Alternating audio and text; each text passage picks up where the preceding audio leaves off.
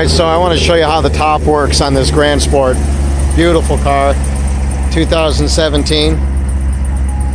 My colors, red and black, with the red stripe around the wheel.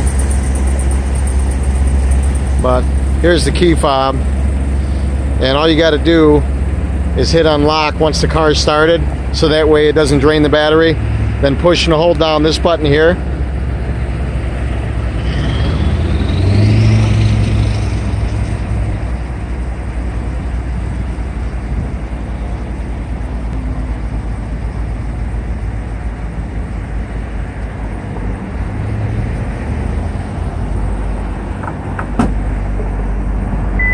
And there you go.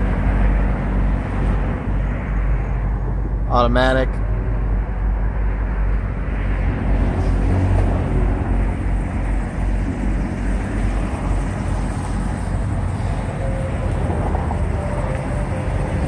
This is one of the Grand Sports I got the other day that came off the truck. I just had it detailed, cleaned up, and brought out front here. But looks great.